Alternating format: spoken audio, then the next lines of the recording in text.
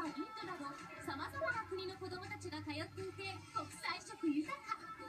幼稚園から高校生までおよそ400人が英語を使って勉強しています今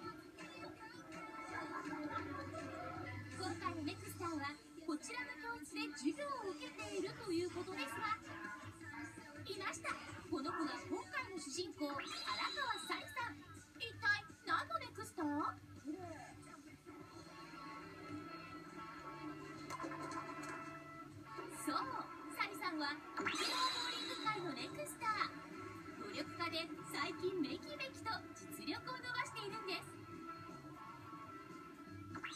去年全沖縄小中学ボーリング大会で3位になると今年1月の全沖縄女子オープン選手権では個人とダブルスの部門で3位。さらには国際少年女子の県代表の座を勝ち取りました。ボーリングって遊びと思われがちですけどちゃんとスポーツとして国体に入ってますし技術とかはまだまだですけどいつかはナショナルチームに入りたいです。まさにボーリング女子。当然ながら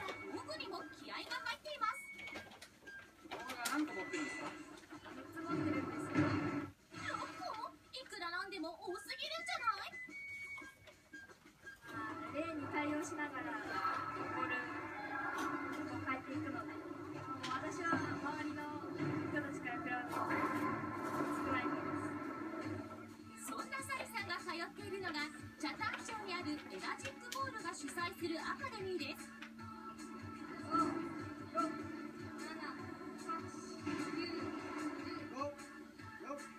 ここでは小学生から高校生までおよそ15人がアスリートとしての体作りや技術を学んでいます。指導に当たるのは元日本代表の2005年からおよそ10年間日本代表としてさまざまな大会で活躍。2012年の世界選手権では銀メダルを獲得するなど輝かしい成績を残しました。すごいポーズですね石峰さんはサリさんをトップボーラーとして育てようと自らの経験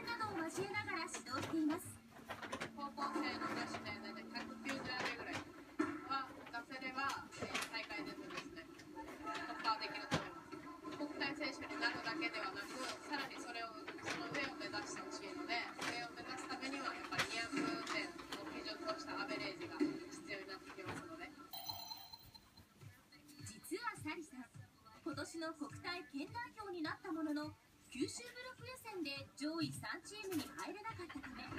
和歌山県で開催された全国の舞台に出場することはできませんでした。来年の岩手国体では必ず上位を目指そうとサリさんは1試合平均6ゲームを投げ抜く安定した下半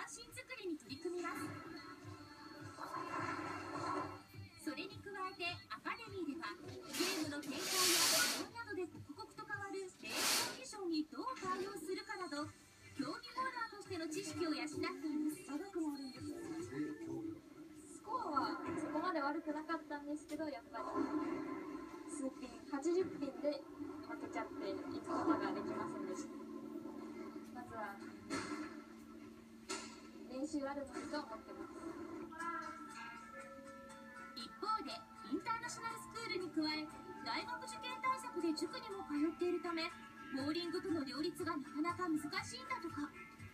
そんな彼女のことを友達は She's really nice, funny. ボーリングとか遅くまで練習してるから寝ちゃうんですけど継続力がすごい宿題とかもあるし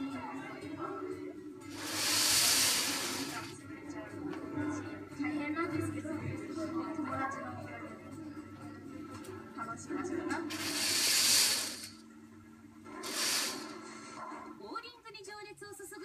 な腕を試す場所が毎週水曜日の夜開かれるリーグ戦です。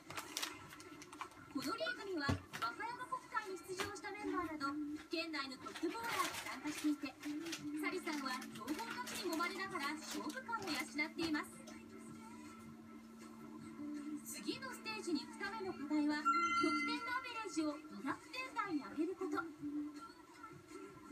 リさん果たして満足のいく結果を残せるのか。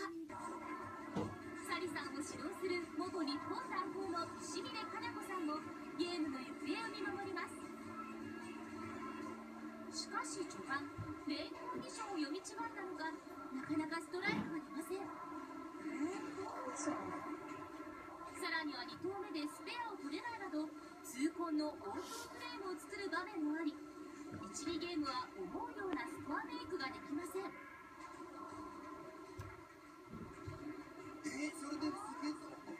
すぐさま石峰さんが投球フォームをアドバイスします。結局この日の6ゲーム中最高得点は195点。満足のいく結果ではありませんでしたが高い目標に向悔しい以前に多分自分のボーリングができてなかったりです今これを見る立場かわかんないですけどいつかはナショナルチーム入りたいです沖縄ボーリング界のネクスター荒川沙里さん。